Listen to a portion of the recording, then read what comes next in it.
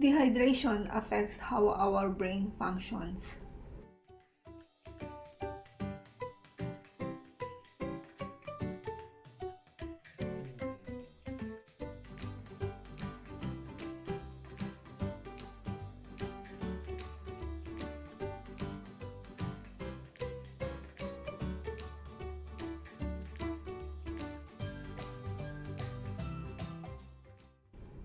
In this video, we will show you how dehydration affects our brain.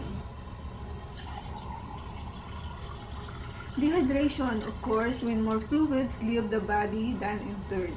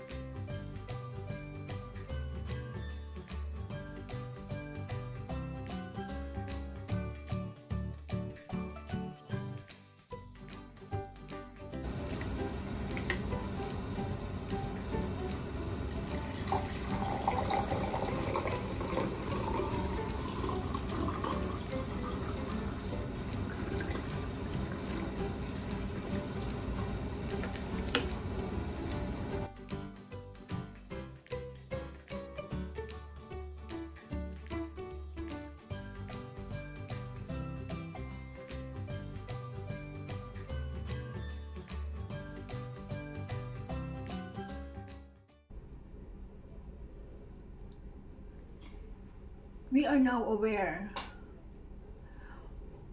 Whenever we feel those symptoms, just drink a glass of water.